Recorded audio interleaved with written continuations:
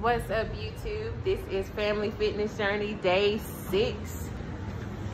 We in a whole nother week, but... Is it day six? Yeah, because the last time we recorded, it was day 5. Oh, How you feeling? day six. I didn't even break a sweat for real, y'all. How you feeling, Zakai? Um, same as last time. What was last time? Yeah, Stronger.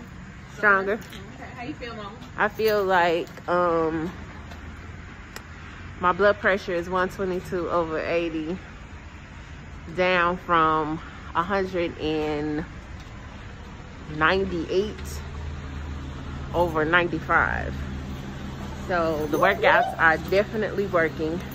I'm excited about it. Thank my child. Keeping me motivated and, being patient with her mama because I'm moving slow now, but it's gonna get better. I'm getting stronger. So we're gonna keep it up. Family Fitness Journey 2022. Getting it done. Y'all wanna say bye? Be out. Bye bye.